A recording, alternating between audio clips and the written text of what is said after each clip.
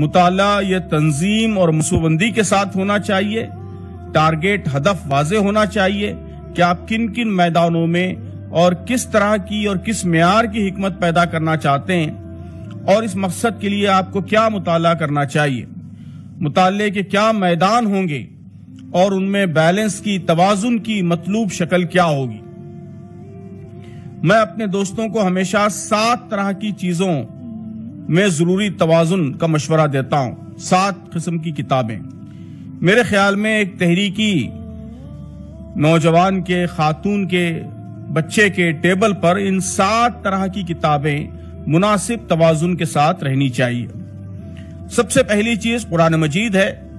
इसको रास्त अरबी अरबी ज़ुबान में भी पढ़ना चाहिए और तर्जुमों और तफासिर की मदद से भी समझने की कोशिश करनी चाहिए।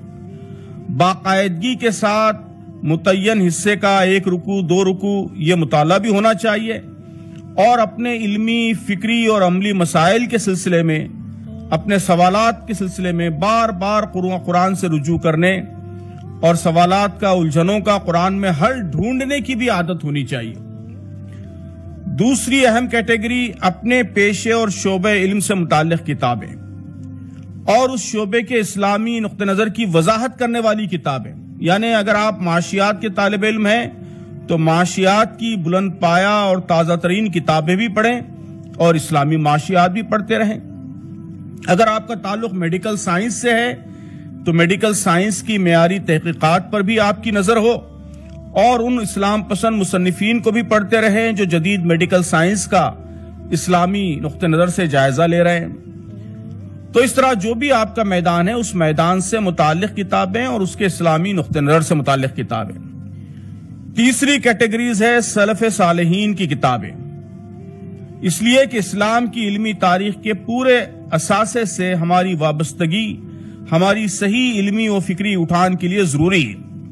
अहम तफासिर कुरान, हदीस की छह किताबें, उसूल तफसीर, उसूल फ़िका वगैरह जैसे उलूम की किताबें इन सबसे हम हसब इस्तात इस्तेफादा करें।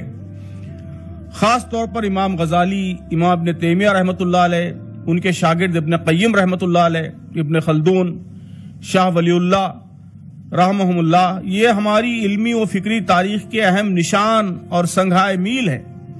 उनसे मुनासिब इस्तेफादा ना हो तो हमारे इल्म फ़िक्र में बड़ा खला रह जाता है। तो ये गोया थर्ड कैटेगरी होगी।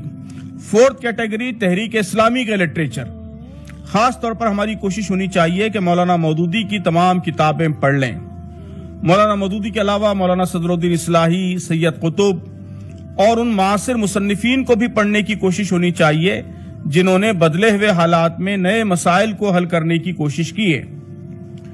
पांचवी कैटेगरी, दीगर जदीद इस्लामी लिटरेचर, यानी तहरीक के मारूफ दायरे के बाहर, माजी में जो कुछ अच्छा काम हुआ है और आज भी जो काम हो रहा है मुख्तलिफ़ मकातिब के उलमा जो लिख रहे हैं, वो भी इस्लामी फ़िक्र का अहम हिस्सा है। कई बेश कीमत किताबें हमारे मुल्क में भी शाये हो रही हैं और बैरून मुल्क में भी हो रही हैं, इनको भी पढ़ना चाहिए। छठी कैटेगरी है जाहली अफकार नजरियात और उलूम का मुताला। इसलिए कि जाहलीत के सही फहम शूर के बगैर इस्लाम का काम नहीं हो सकता। जाहली अफकार नजरियात, फलसफे, रुझानात, जदीद दुनिया के मसाइल, उसके स्ट्रक्चर्स उसकी पेचीदगियाँ इन सबको समझने के लिए जो मैारी किताबें हैं, वो पढ़ना चाहिए। और सातवीं और आखिरी कैटेगरी है अदब, लिटरेचर। मेरे नज़दीक नावल, अफसाना शेर, इंशाइये, सफरनामे, कॉलम्स तंजो मिजा जासूसी अदब, शिकारियात, सवान उमरियाँ, इन सब का मुताला भी ज़रूरी है। हिकमत के कई गोशे ऐसे होते हैं, जो गहरी इल्मी किताबों की दस्तरस और दायरे से परे होते हैं।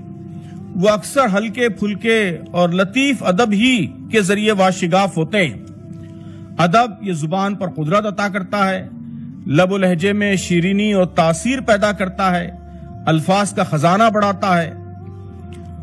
महावरों और रोज़मर्रा पर गिरफ्त अता करता है और इल्म हिकमत की बुलंदियों को आम ज़िंदगी से जोड़ता है। हर घर में कुछ अच्छे मैगजीन ज़रूर आए, इसको यकीनी बन बनाना चाहिए। घरों में रिसालों का इंतज़ार हो, जिस उम्र के अरकान खानदान हो, उस उम्र से मुतल रिसाले आए, ये सारी कोशिशें होनी चाहिए। तो इस तरह ये सात कैटेगरी मैंने बताई।